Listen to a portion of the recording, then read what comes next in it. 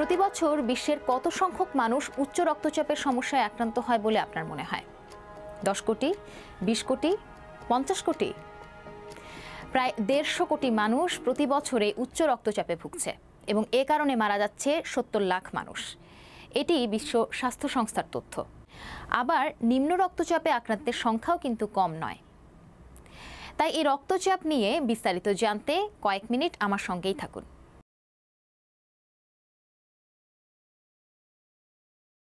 হৃৎপিণ্ড রক্ত পাম্প করার সময় এই রক্তনালীর গায়ে যে প্রেশার বা চাপ সৃষ্টি হয়, সেটাই ব্লাড প্রেশার দুইটি নম্বর দিয়ে রক্তচাপ রেকর্ড করা হয়।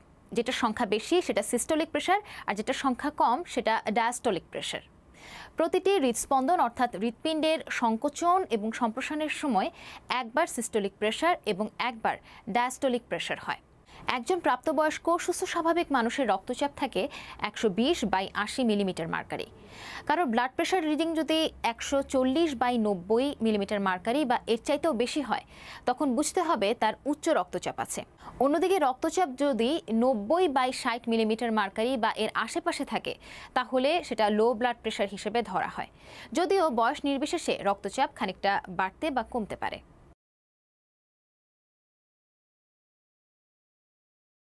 হার্টের আর্টারিতে রক্ত প্রবাহের চাপ অনেক বেশি থাকলে সেটাকে হাই ব্লাড প্রেশার বা উচ্চ রক্তচাপ কিংবা হাইপার টেনশন বলা হয়।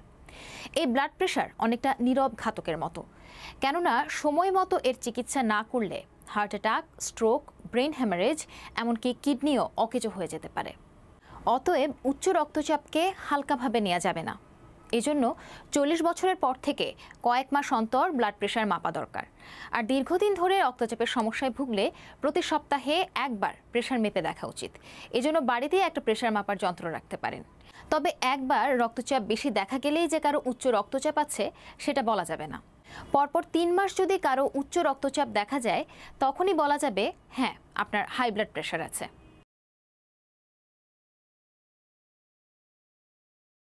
উচ্চ রক্তচাপের লক্ষণ সেভাবে প্রকাশ পায় না।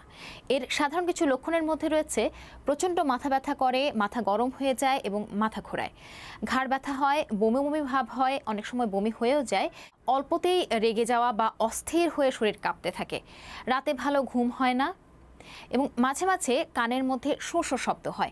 অনেক সময় রোগী জ্ঞান হারাতে পারেন। এসব লক্ষণ দেখা দিলে আজ থেকেই নিয়মিত রক্তচাপ পরিমাপ করতে শুরু করুন এবং ডাক্তারের পরামর্শে ওষুধ সেবন করুন। সাধারণত চল্লিশ বছর বয়সের পর থেকে উচ্চ রক্তচাপ হওয়ার ঝুঁকি বাড়তে থাকে। অতিরিক্ত ওজন বা স্থূলতা, এছাড়া বংশে কারও উচ্চ রক্তচাপ থাকলে নিয়মিত ব্যায়াম বা শারীরিক পরিশ্রম না করলে, এছাড়া প্রতিদিন ছয় গ্রাম অর্থাৎ এক চা চামচের বেশি লবণ খেলে, ধূমপান বা মদপান বা অতিরিক্ত ক্যাফিন জাতীয় খাদ্য বা পানীয় খেলে এবং দীর্ঘদিন ধরে ঘুমের সমস্যা হলে, এছাড়া শারীরিক ও মানসিক চাপ থাকলে উচ্চ রক্তচাপ হওয়ার প্রবণতা বেড়ে যায়। জীবনযাপনে পরিবর্তন আর নিয়মিত ডাক্তারের পরামর্শ ওষুধ খেলে রক্তচাপ নিয়ন্ত্রণে রাখা সম্ভব। এজন্য কয়েকটি বিষয়ে মনোযোগী হতে হবে। প্রথমত, খাবারে লবণ, চিনি, কোলেস্টেরল এবং ক্যাফেইনের পরিমাণ কমিয়ে আনতে হবে। ধূমপান, মদপান পরিহার করতে হবে। ওজন নিয়ন্ত্রণ করতে হবে।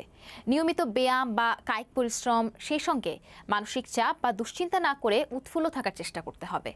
পর্যাপ্ত বিশ্রাম নেওয়া এছাড়া উচ্চ রক্তচাপ হলে অতিরিক্ত কোলেস্টেরল জাতীয় খাবার পরিহার করে ফলমূল বা শাকসবজি জাতীয় খাবার খাওয়ার অভ্যাস করতে হবে। শারীরিক দুর্বলতার জন্য যখন দেহে বিশুদ্ধ রক্তের অভাব হয় এবং ধমনীয় শিরা দিয়ে সতেজ রক্ত চলাচল করতে পারে না, তখন রক্তের চাপ কমে যায়, যেটা নিম্ন রক্তচাপ লো ব্লাড প্রেশার বা হাইপোটেশন নামে পরিচিত। নিম্ন রক্তচাপ হলে মস্তিষ্ক, কিডনি ও হৃৎপিণ্ডে সঠিকভাবে রক্ত প্রবাহিত হতে পারে না, ফলে রোগী অসুস্থ হয়ে পড়েন। আমাদের শরীরের জন্য উচ্চ রক্তচাপের মতো নিম্ন রক্তচাপও ক্ষতিকারক। অতিরিক্ত পরিশ্রম, দুশ্চিন্তা ও স্নায়ুর দুর্বলতা রক্ত স্বল্পতা বা পুষ্টিহীনতা বংশে কারও নিম্ন রক্তচাপ থাকলে এই সমস্যা হতে পারে। লো ব্লাড প্রেশারের সাধারণ কিছু লক্ষণের মধ্যে রয়েছে মাথা ঘোরানো, হৃদস্পন্দন হঠাৎ খুব বেড়ে যাওয়া, ক্লান্তি এবং দ্বিধাগ্রস্ত লাগা, অসুস্থ বা দুর্বল ভাব, অজ্ঞান হয়ে যাওয়া, বমি বমি ভাব দৃষ্টি ঝাপসা হয়ে আসা এবং স্বাভাবিকভাবে শ্বাস প্রশ্বাস নিতে না পারা। যদি কয়েকবার রক্তচাপ পরিমাপের পর দেখেন যে আপনি নিম্ন রক্তচাপে ভুগছেন, তাহলে জীবনযাত্রায় পরিবর্তন আনতে হবে। অল্প অল্প করে বারবার পুষ্টিকর খাবার খেতে হবে। বসা বা শোয়া অবস্থা থেকে ধীরে ধীরে উঠে দাঁড়াতে হবে, তাড়াহুড়ো করা যাবে না। শোয়ার সময় শরীর থেকে মাথা অন্তত ছয় ইঞ্চি উপরে তুলে রাখতে হবে। এজন্য উঁচু বালিশ ব্যবহার করতে পারেন। দীর্ঘ সময় দাঁড়িয়ে বা বসে থাকা যাবে না, কিছু সময় পর পর বিশ্রামের চেষ্টা করতে হবে। প্রচুর পরিমাণে পানি খেতে হবে, ধূমপান, মদপান এবং রাতের বেলা ক্যাফিন জাতীয় পানীয় এড়িয়ে যেতে হবে।